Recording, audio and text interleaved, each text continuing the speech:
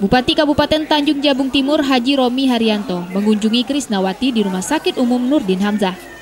Krisnawati merupakan warga desa Lambur 1, Kecamatan Sabak Timur yang melahirkan bayi kembar. Salah satu dari bayi tersebut mengalami kegagalan pembentukan organ tubuh yang dalam ilmu kedokteran disebut sindromelia atau dikenal dengan sindrom Mermaid. Bupati meminta kepada dokter yang menangani bayi tersebut agar mendapat penanganan khusus dan segera dirujuk ke Rumah Sakit Umum Raden Matahir yang berada di kota Jambi. Pihak rumah sakit pun menanggapi permintaan Bupati dikarenakan Rumah Sakit Umum Nurdin Hamzah tidak memiliki cukup alat dan akan segera dirujuk. Direktur Rumah Sakit Umum Nurdin Hamzah, Nasrul, mengatakan kondisi bayi tersebut merupakan kejadian yang langka. Penyakit yang dialami bayi ini disebabkan gagalnya pembentukan organ tubuh ketika masih dalam kandungan.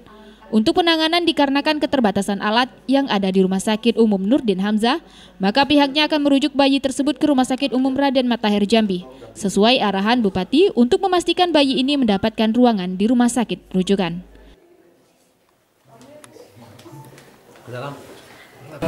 Kegagalan terbentuknya fungsi organ.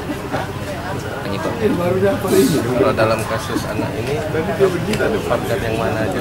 Kalau biasanya kemungkinan kalau seperti itu organ bisa, bisa ditinggal, bisa diserahkan kami, makanya nanti bayi itu dibawa ke mobil untuk di screening organ-organ mana saja yang ada dan poin kayak poin kayak apa yang yang yang bisa dilakukan. Kalau dari organ luarnya seperti tangan, kaki, lengkap. Kalau organ luarnya lengkap. Dari Jambi, Hendrianus Tribrata TV. Salam Tribrata itu nanti dilakukan